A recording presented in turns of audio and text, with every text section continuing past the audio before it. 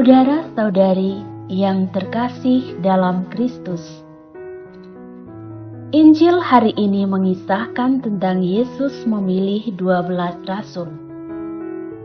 Yesus sadar tugasnya di bumi dapat terlaksana jika Allah membuka tangan untuk bekerja sama dengan manusia. Karena itu, ia memilih kedua belas rasulnya untuk bisa menjadi perpanjangan tangan dan lidahnya dalam menjangkau setiap jiwa masuk ke dalam jaring kasih Allah.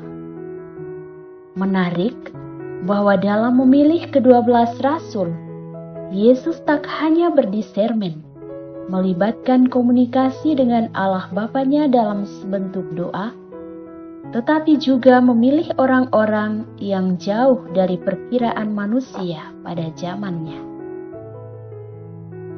Murid Yesus adalah kaum sederhana, seperti nelayan, pemungut cukai. Bahkan Yesus memilih seorang Yudas yang kelak menjadi pengkhianat. Yesus pasti tahu, sebagai seorang yang ilahi, bahwa Yudas akan mengkhianati cinta pada gurunya suatu saat nanti. Tetapi Yesus tetap memilih dia. Kisah ini mengajarkan kita bahwa Allah tak pandang bulu. Ia memiliki kasih yang sama kepada setiap orang. Tak peduli orang itu memiliki masa lalu yang buruk, watak yang keras, kelemahan-kelemahan tertentu Allah siap menggunakannya menjadi berkat, menggunakannya sebagai alat melayani dan juga sebagai pewarta keselamatan.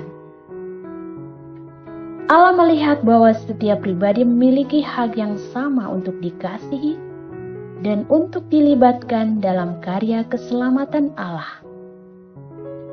Hati Allah memang tak bisa disetarakan dengan hati kita.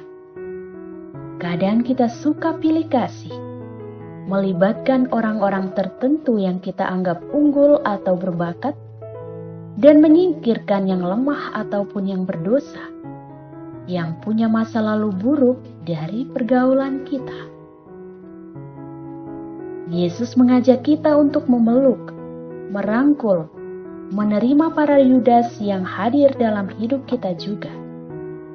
Ia meminta kita bersikap selayaknya seorang murid Kristus yang bertindak sesuai cerminan dari gurunya. Memang sulit, namun Tuhan saja memilih seorang pengkhianat. Tentu kita yang mungkin juga pernah menjadi Yudas, hendaknya memperlakukan sesama kita dengan kelebihan dan keterbatasannya sebagai manusia yang perlu dikasihi dengan kasih seorang murid Kristus.